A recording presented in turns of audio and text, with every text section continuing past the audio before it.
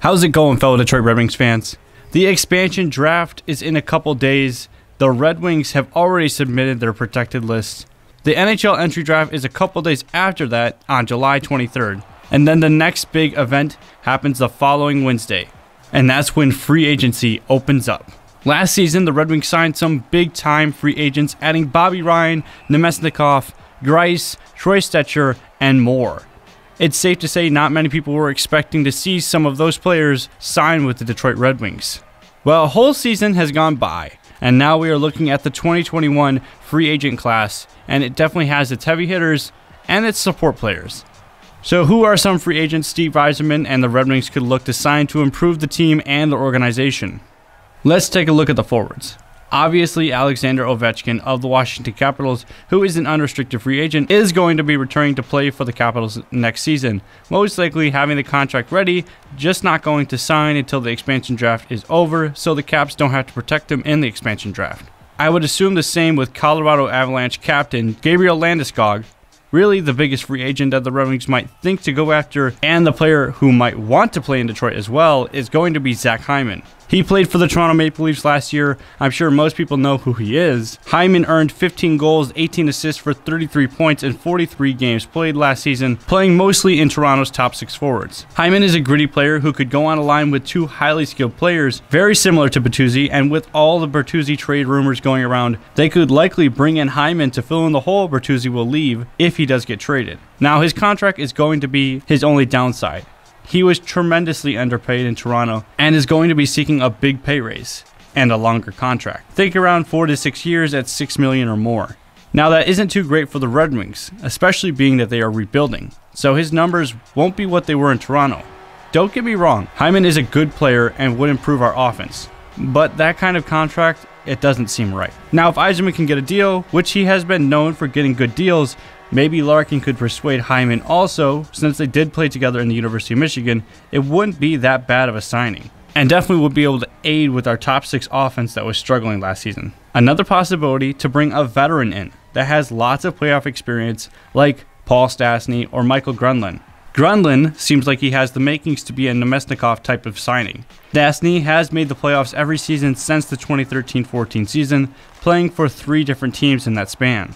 If Stastny wants to sign a short term contract, one to two years, then there shouldn't be a problem. We can also flip him to a contending team at the trade deadline so he can chase the cup and we get draft picks or prospects. The last forward I want to talk about is a free agent who was developed by the Detroit Red Wings and was traded away. That player is Tomas Tatar.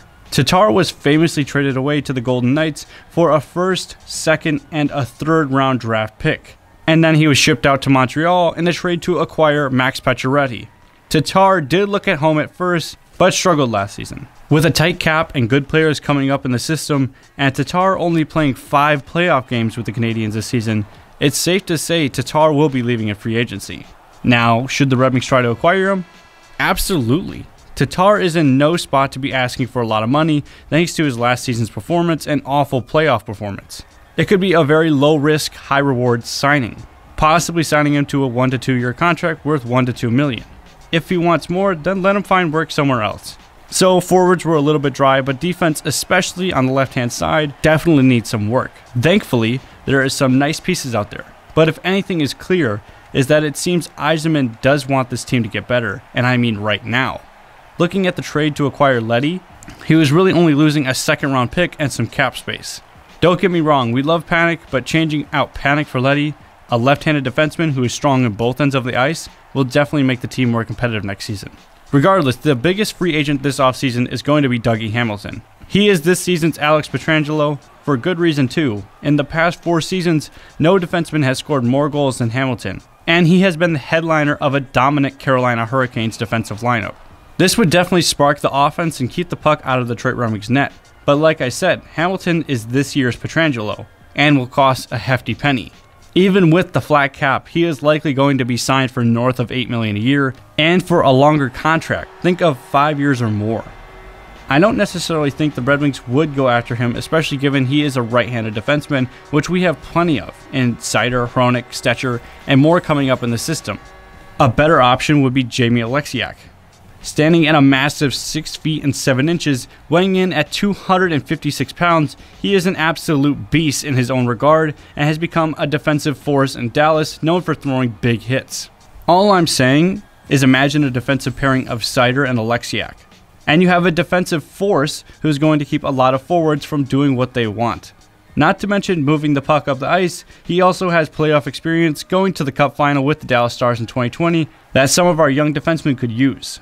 Lastly, for defensemen, we have Alec Martinez. Now, in terms of playoff experience and clutch play, you really can't get much better than Martinez. He did score the cup clinching goal for the Los Angeles Kings in 2014. Martinez, like Oleksiak, is a left handed defenseman, a position that the Red Wings have spaces for, and no immediate prospects who are challenging for a spot aside from Dennis Cholowski. Yzerman could use some of that cap space to snatch up Martinez to give a good mentor for Hronek and Seider as they develop into top defensemen for the Red Wings. Now, the last free agent I want to focus on is a goalie. I wouldn't say it would be a good idea if Bernier is going to be resigned, but theoretically, if Bernier doesn't resign with the Red Wings, and that's a big if, he has gone on the record saying he does want to return and play in Detroit next season. But theoretically, if Bernier doesn't want to sign with the Red Wings, they could try to get Colorado Avalanche goalie Philip Grubauer. He is in the middle of his prime, being 29 years old, with the fifth best save percentage in NHL history, with at least 100 games played. With that being said, Grubauer has always played for a playoff team, including most recently the Colorado Avalanche, who had a tremendous season.